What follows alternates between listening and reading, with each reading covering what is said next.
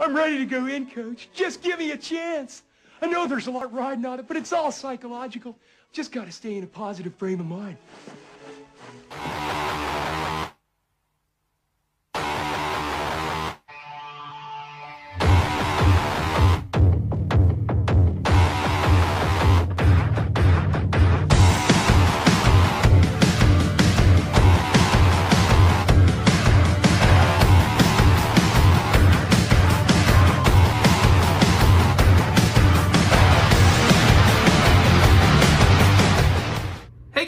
Cody here with another figure review, and today we're going to be looking at the Shady Acres Ace Ventura Pet Detective figure by NECA Toys. I am very happy that NECA is starting to tackle some of the uh, Jim Carrey um, related like films. I hope one day they do a mask figure. I really want to see them do the mask.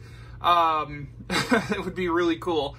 But um, Ace Ventura is one of my favorite Jim Carrey films, and Jim Carrey is a huge idol of mine. So I had to pick this up when I went to the Huntsville Comic and Pop Culture Expo last month.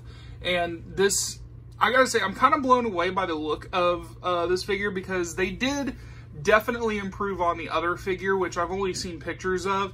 I keep saying that the original figure that they did, where he's in his more recognized attire that he usually wears in both films, is close to looking like Ross from Friends than it does Jim Carrey. And this actually looks like Jim Carrey. So uh, we'll take a look at it in just a second, but we're going to take a look at the packaging. Uh, you got a nice window box with the Shady Acres logo at the top. And then it says Ace Ventura Pet Detective down here at the bottom. On the side here, we have a shot of the figure with a bunch of, um, like, uh, I guess, I can't remember what they call it. I call it like John Maddening um, where they sketch out the the play and stuff for football. So as I'm open, I'm open right there. And then on the other side, we have one of his more recognized quotes from the scene. I'm ready to go in, coach. Just give me a chance. so, uh, and then the top here just has the Ace Ventura Shady Acres logo. On the bottom, it just has all that information right there.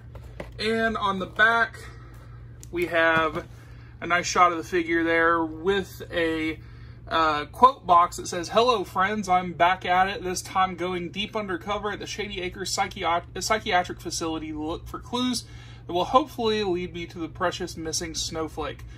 As a master of disguise, I'm sure to fool that good doctor when I execute this button hook pattern in super slow mo. Let's see that in an instant replay.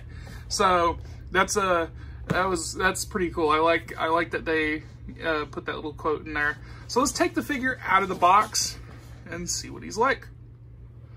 All right, guys, so here is the figure out of the packaging, and uh, he's only got one accessory and one head sculpt there, but we're going to take a look, close look at the figure. But before we get started, I got to mention that I just love the fact that they included this replica of Ace Ventura Pet Detectives um, like ID card right there. That is that is really cool to serve and protect your pets. It's just a cardboard, you know, piece there, but it's still a really really fun ad right there. But anyway, here is the figure itself. As you can see, there is the head sculpt. And I gotta say, it has a great likeness to Jim Carrey. It is not a terrible head sculpt. It is definitely better than the original figure.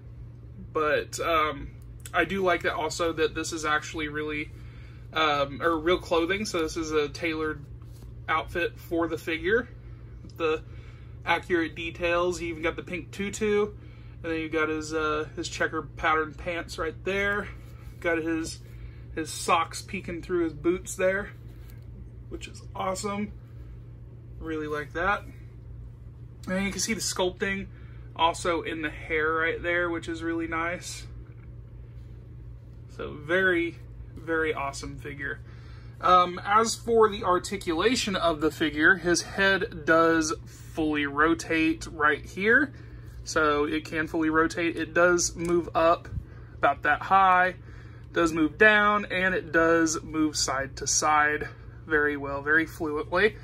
His arms do go out that much right there, and they do hinge in and out, rotate at the bicep. They do bend at the elbow right there. It's a single point joint right there.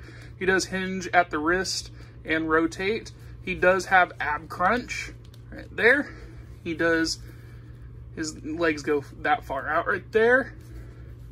Does bend at the knee right there with a single joint. He does rotate at the at the boot right there. And he does have ankle pivot right there. So fairly nice articulation, not bad at all.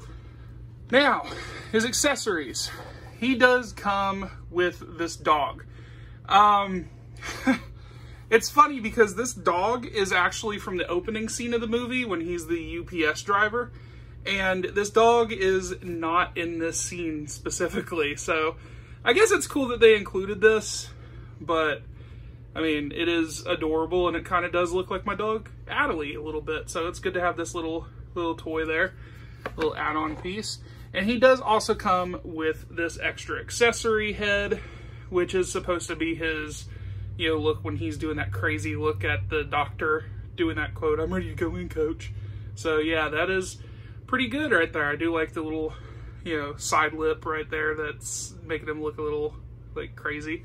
So the way to change the head out, it is actually pretty complicated. NECA's figures usually, um, they're so well made when, when it comes to the joints and stuff.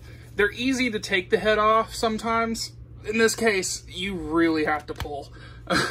but putting it on is crazy. Uh, yeah, you can see there's the, the joint right there. And inside there is a peg system and it okay so you can see it's just kind of loose right there but you really have to push it in. I'm gonna have to do it off camera just to make sure it's in. There we go saw the pop right there.